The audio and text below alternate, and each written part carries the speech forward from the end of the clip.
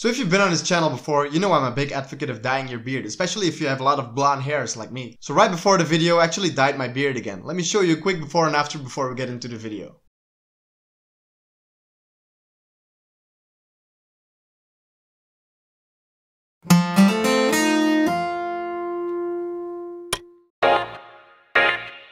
How's it going everyone? My name is Dan from The Bearded Smith and I am glad that you are here. I wanted to make a quick update today for the Minoxidil beard progress because I have some very, very exciting news. So I was scrolling through my phone's pictures earlier and I found this picture from October 30th and I was like, hold on, wait. That can be right. So let me actually show you what I noticed. Take a look at this freckle or birthmark or whatever you want to call it here on my cheek. And look at the beard in relation to it.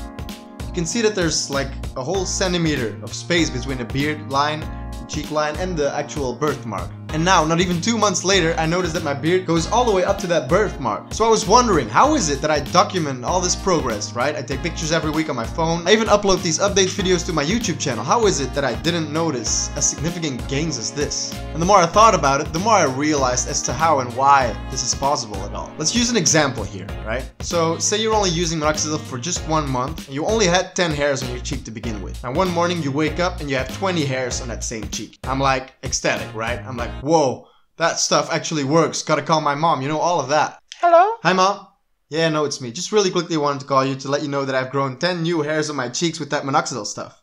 Yeah, that's great, honey, but why can't you just let nature do its thing? You don't need to use a drug for it. Yeah, mom, and you don't need breast implants, but here we are. What did you just say? What I'm trying to say is, in the very beginning, you notice every new hair that's on your face. Now, say you've already been using minoxidil for a couple of months. Say you have a thousand hairs on your cheek. Now, one morning you wake up and you have a thousand hundred hairs on your cheek.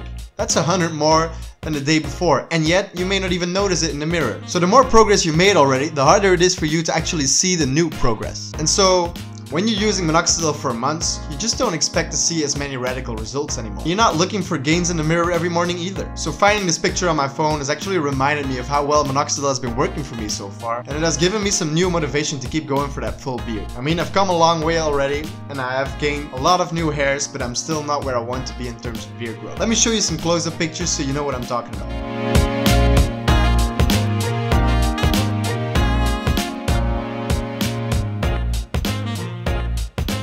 That's gonna be it for today's update video. Thank you so much for watching. I really hope you enjoyed this video. If you did, please leave a like on the video and consider subscribing. It really helps out the channel. I want to give a big shout out to all the new subscribers. We're at 173 at this moment, which is absolutely amazing. So thank you very much.